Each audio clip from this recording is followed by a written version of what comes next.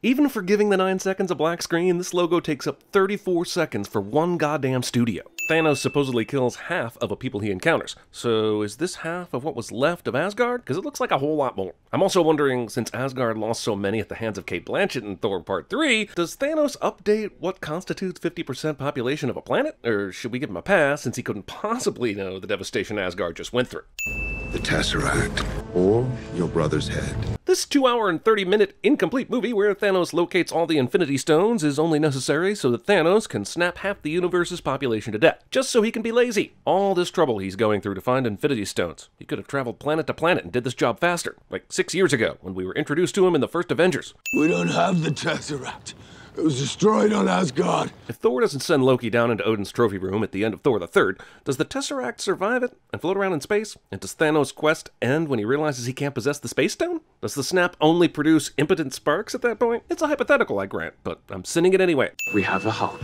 Why does Hulk hold back during the battle while Thanos destroys the Asgardian ship until the end when Loki says we have a Hulk? What the fuck was he doing before then? Thanos destroys Hulk with only one stone in his glove. Later, with many stones in the glove, his punch will be held by super angry Captain America after going toe to toe with Iron Man on Titan for a good bit. And the power distribution slash comparisons in the MCU have never felt more squirrely than in this movie. Also, where's Valkyrie? Valkyrie should have at least been shouted out in this movie. Thank Odin Valkyrie got half my people away to safety, is all Thor had to say later. Just who the f is this guy? We've sat through 18 goddamn films, and if I'm remembering correctly, 75% of the MCU has been Thanos bitching about traffic on the freeway, and we haven't once been introduced to these powerful f***s that follow him around or why he needs them. Find them, my children, and bring them to me on Titan. Sure, put Infinity Stone retrieval in the hands of your henchmen. That worked so well in the 39 other movies. Didn't you literally grumble, fine, I'll do it myself? Oh no, Loki's gonna die again, like in Thor the Dark World, which definitely means he's probably not dead. And even if he is, I'm sending it anyway, because that Dark World scene did not get sent enough. Thanos is coming. In previous movies, we were told Hulk and Banner have different memories, so how does Banner remember the Hulk alone knows? Tony Stark, famous Avenger, is running around Central Park and nobody's bothering him. This guy is more famous than any president or celebrity in history. Tony Stark? Do normal people see this? While I know New Yorkers are up on their Avengers knowledge, I'm not quite so sure they've been informed about the masters of the mystic arts. Big bangs and six elemental crystals hurtling across the virgin universe. If the universe is infinite, or at least close to it, then these stones were sent in directions that should have guaranteed no one could ever combine them all, just based on sheer math. Also, why six? Two weeks ago, Vision turned off his transponder. He's offline. Okay, if he had a fucking transponder and knew it, he wouldn't have waited until two weeks ago to turn it off. So this is some bullshitty bullshit here. Cap and I fell out hard. We're not on speaking terms. Really? What was that letter Cap sent you at the end of Civil War then? He specifically said, if you need me, I'll be there. All these dudes are superheroes, and they all sense something sinister is happening outside. But instead of instantly leaping into battle, they take several seconds to gape like children at the strange noise, like dickheads. The alien ship causes Peter's spidey sense to go off, and Homecoming didn't give us any indication spidey sense even existed. And now this movie is just thrusting it on me like, well, almost like they forgot it was a thing and are only now implementing it. I need you to cause a distraction. We're all gonna die! Ned, you are a treasure. Maybe none of the classmates on the bus see Peter do this, but plenty of other drivers and passengers on this bridge do. And in the age of smartphones and dash cams and government surveillance, this transition was definitely seen and captured on film, and Peter's cover is blown forever. What's the matter with you kids? You never seen a spaceship before? Yeah, sure, they've seen a spaceship, and it usually means bad things. I've seen a tornado before, that doesn't mean that when it happens, I'm gonna sit on the bus reading Madame Bovary. Bring me the stone. Dude, a minute ago you were making metal fly with a flick of your wrist. Why do you even need the futuristic space axe dude to do this for you? I need to concentrate here for a second. Bruce's Hulk transformation troubles become an impotence metaphor. And does that mean when he's successful, it's like he's a huge green boner? And what does that say about his character, that he can only become erect when he's angry? This is the most embarrassing Mark Ruffalo's been since In the Cut. I realize that nanobots are legit real-world science, to a degree, but Tony's suit is applying it in ways that make it utterly unbelievable. Here's some we definitely won't use later when it could sway the fate of the universe. I mean, there are much more important and dangerous hands that this can be used for to cut off in this film. Unlock 17A. Thank f***ing God Stark had pre-designed and built and voice programmed for deployment a space-worthy Iron Spider-Man suit in the, I'm guessing, a few months since Spider-Man Homecoming? Friday, send him home. Um, why didn't the suit just fly him back to wherever Tony wanted him to go? If you're telling me that the suit doesn't fly, then why doesn't it? If the suit does fly, then there's no need for the parachute send-off, especially if you've got Friday controlling it. Somehow, after that massive battle that ended in that one park, Banner retraced his steps and found Tony's phone in the rubble, like a needle in a haystack called and thinks you're making this too difficult. Well, this is 100% definitely not a reaction to CinemaSins complaining about text place names in movies being used when they're unnecessary. This is 100% definitely not a reaction to CinemaSins complaining about text place names in movies being used when they are unnecessary. Of all the retro references to make, Groot is playing Defender. What a fucking infuriating video game. Why is he even playing ancient Earth games anyway? Aren't there modern alien games to download from the Nebula? That Thor is convenient and illogical, but I do love Fig Newtons. After that encounter with a sudden new alien being, Groot is still playing handheld video games. There comes a point when a parent's got a parent, and clearly no one aboard this ship ever did that. So Groot ends up like that affluenza kid in Texas, and everyone around him acts like, oh snap, he's such a bad seed, why didn't anyone do anything? He's anxious, angry. He feels tremendous loss and guilt. So basically every single American then? Or even every human? Aren't we all anxious, angry, and feeling lost these days? Mantis's empath revelations are more obvious than Forest Whitaker's in Species. Who the hell are you guys? That's an awfully rude way to greet people you don't know. I once woke up in this room and this dude tried to do all this gnarly to me with these strange tools, and I was like, Who the hell are you? And he said, I'm your fucking dentist, asshole. Dr. James Packer DDS was tough, but fair. Thanos retrieves another stone. He'll be too powerful to stop. He already is. How exactly did they expect to stop Thanos, who doesn't even need Infinity Stones to be powerful, but already has two of them? Plus, Thanos needs Gamora to get the Soul Stone. Keeping Gamora away from Thanos is strategy 101, but because there's no time, they hastily conjure up some no ass plan. Vision and Wanda are supposedly on the run and hiding out from, I guess, the government, but this apartment or hotel room is large as this looks like a honeymoon, not a couple on the lam. Romancing the stone! Also, they went from kind of maybe flirty to kissy face hotel buddies and deeply in love, entirely off screen. Look, this is the fucking MCU. I refuse to believe anything is an accident, and I'm losing sleep trying to unravel the meaning of we will deep fry your kebab. Is it a promise? A threat? A guarantee? A cipher key? The sign is taking up way more screen space than Wanda's face. It has to mean something. How the did that alien assassin sneak up on an android without being heard or seen or sensed? The blade. It stopped me from phasing. That's literally the only explanation this movie's gonna give for why the two most powerful Avengers end up needing help from some punchy fools like Black Widow and no longer Captain America. Wanda is hand to handing this henchman. She's a magic witch that fooled all the minds of the Avengers with false visions of awful futures at once. Why does she have to throw her mind powers at people? Why did Cap need to make a dramatic entrance into this scene? And why on the other side of the tracks? Why isn't he helping already? And in the time it took both Scarlet Witch and Proxima to figure out who it was, either of them could have potentially won the fight while the other was distracted. Audience applause break. Guns. These henchmen failed to get the stone they were sent after, and they peace out to save their own skin. And I'm pretty sure even they know that Thanos values the stones over his henchmen. So what the f are these minions thinking, bailing out like this? Stay close, check in, don't take any chances. We just wanted time. You know, to figure out the whole having sex with a synthetic vibranium body thing. It's a lot tougher than you'd think. I hope Thanos is keeping count during all this disorder and chaos, because I can't figure out how many are dying at first glance. But I'm sure he knows how to keep the death at halfsies. What's wrong, little one? The fact that Thanos would ever have stopped on his kill quest for even a moment because of a cute kid is a big pill to swallow. You're quite the fighter, Gamora. She asked a question. That's it. She's displayed zero fighter characteristics. She's inquisitive, confused, scared, guileless, but a fighter she is not. This half genocide scene illustrates a curious character detail in Guardians of the Galaxy, when they told us Gamora was the only survivor. If Thanos gets me, I want you to promise me me. One other thing you could do just find a distant planet to live on, lay low, find a cave, maybe find Spock, and don't allow Thanos to ever get near you. Swear to me on your mother. Movie characters think that a promise will be a bond if they swear on a loved one, but of course it doesn't work that way cliche. I realize she has a hate boner of justice, but goddamn, what was she thinking? She's the one that's been reminding others how fucking powerful Thanos is. Premature self-reprobation. You knew I'd come.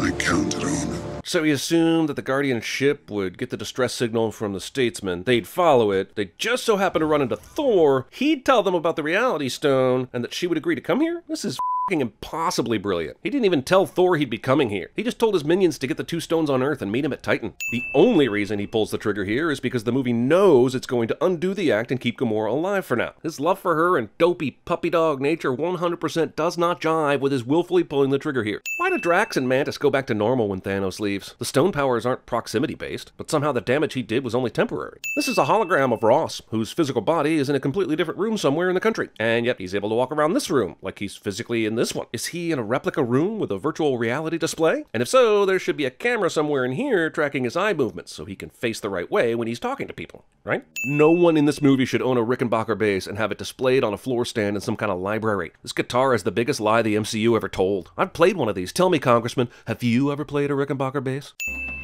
Where's the fight? Fucking Bucky. Are we just gonna gloss over the fact that a Stark shoulder missile from Earth easily blasts a hole in the hull of this alien spaceship? The hell is this spray stuff Tony's using here to seal the breach in the ship's hull? Nano magic? Canned convenience? It's magic whiz and it's cheesing me off. Way to introduce a new character in the movie in the 19th film of a franchise and completely kill him off in an hour. Darth Maul and Ebony Maw are now in some seventh circle of movie franchise hell, where they were told they were special and mull their fates with Maul Flanders at the Hades Mall. So I say we take the fight to him. Granted, the ship you're on is going to him, and you haven't stated declaratively that you can turn the ship around, despite being asked twice by Strange. Maybe this is less of a choice than the movie or Tony wants to make it seem. Your planet was on the brink of collapse. I'm the one who stopped that. You know what's happened since then? I don't know, has 50% of the planet multiplied and brought it back to pre-Thanos population numbers? I guess you plan on snapping the universe back to half its people every 20 years or so? This seems so fucking pointless. Don't do this.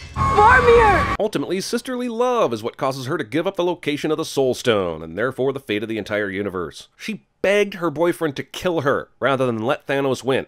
And I'm getting a new hammer. In Thor 33 and a third, Odin told him his hammer was just something that focused his power. Now that's been forgotten, and a hammer is important again. You're gonna need more than one stupid eyeball. But you're handing him a fake eyeball, so he still only has one stupid eyeball, right? What the f?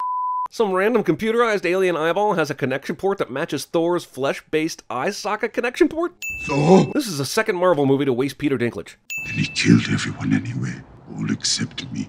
Me do some math here. 300 dwarves were here, one is left, carry the 9, multiply by pi r squared, that's 99.67% of the dwarf population, which means he must have let 299 other dwarves on some other hammer building station live.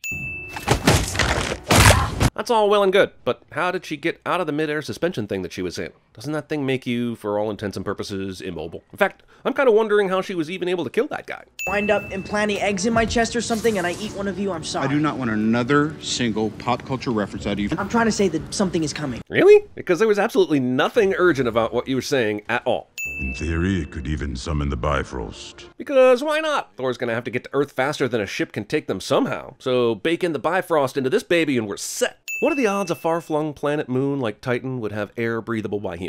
So wait, at the end of Captain America, Red Skull touches the Space Stone and is sent into space to be a sort of keeper of the Soul Stone? It really just seems like a reason to shoehorn Red Skull back into the story more than anything that makes sense. Guiding others to a treasure I cannot possess. Are you saying you've had a lot of people looking for the Soul Stone since you got sent here in 1945? What happened before you were here? Was Warren G. Harding guiding people back then? Soul holds a special place among the Infinity Stones. Why? Might say it has a certain wisdom. But why?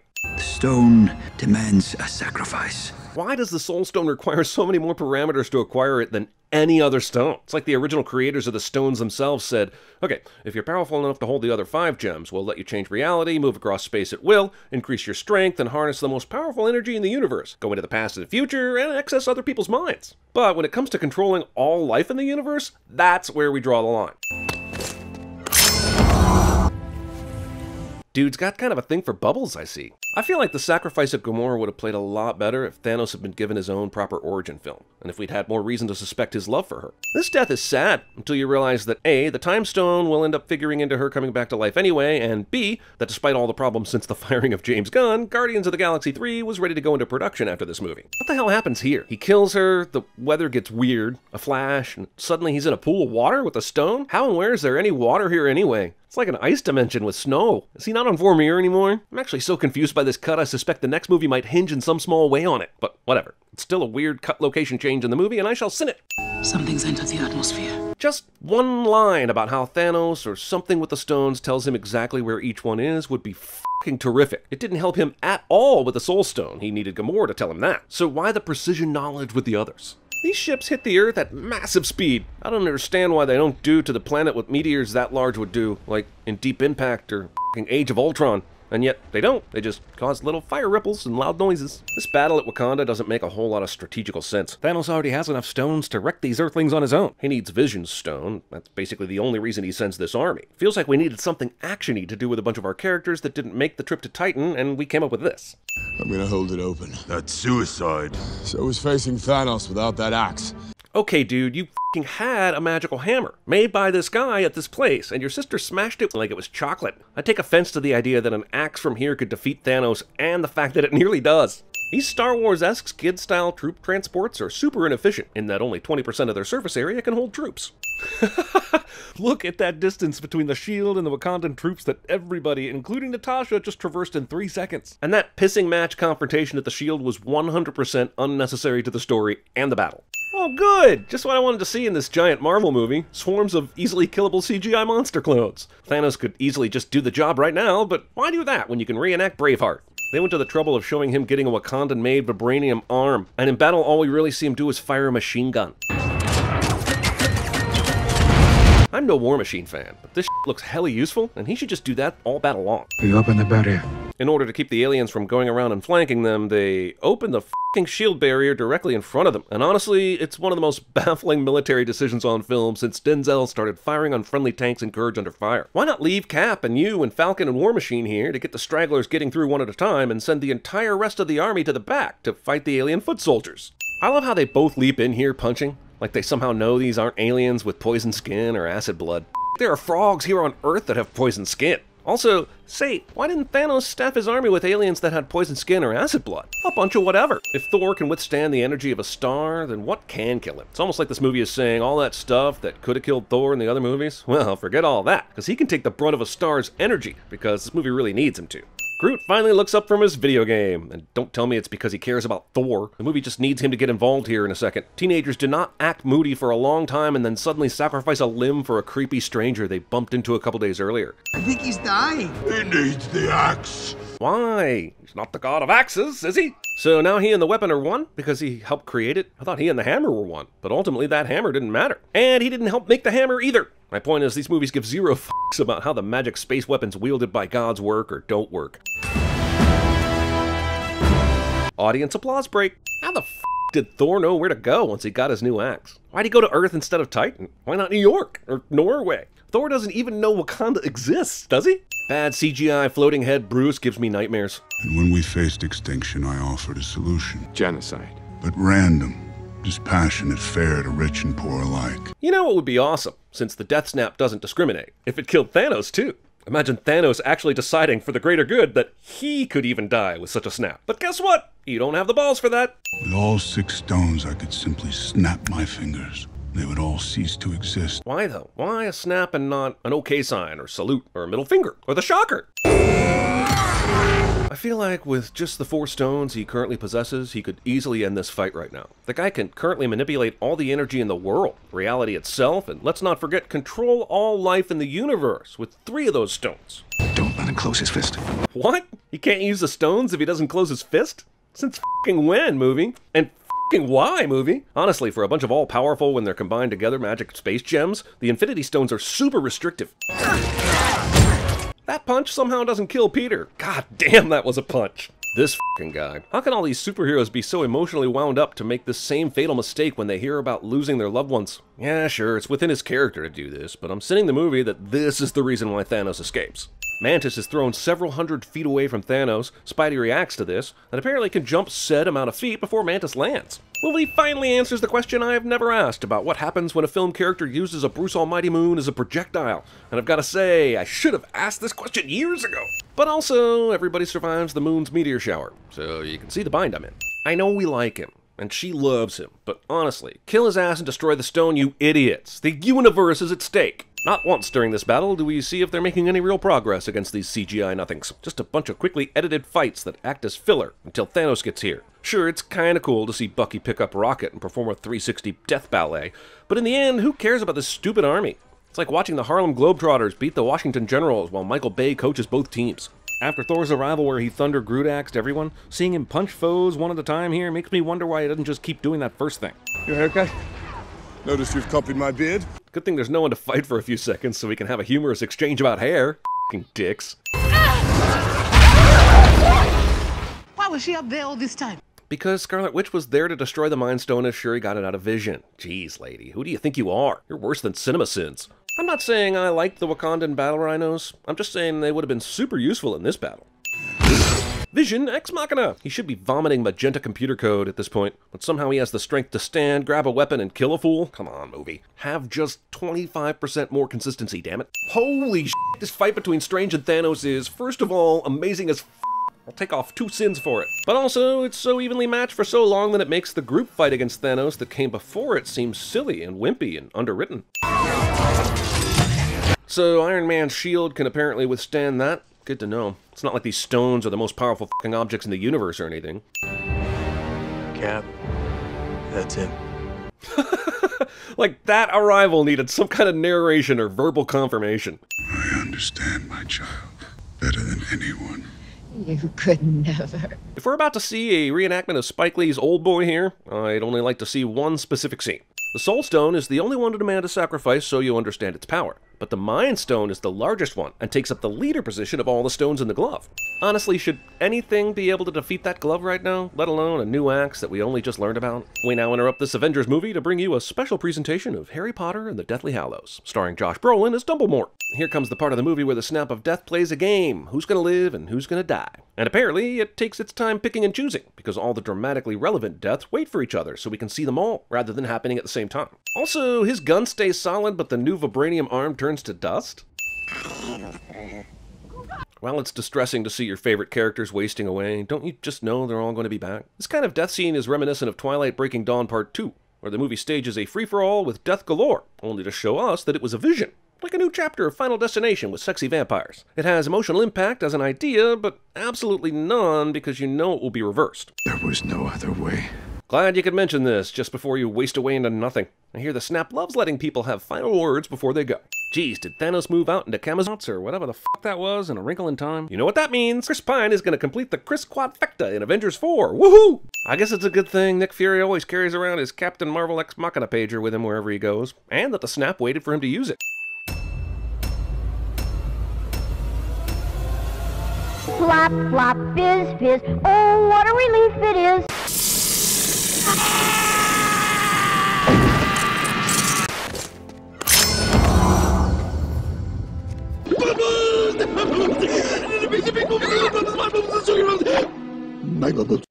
Is that what I think it is? Mm-hmm. It's beautiful.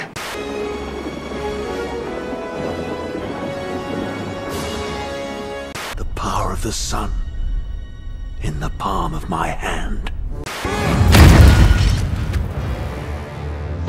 You got knocked the f out. In order to take the stone, you must lose that which you love. I love poetry and a glass of scotch, and of course, my friend Baxter here.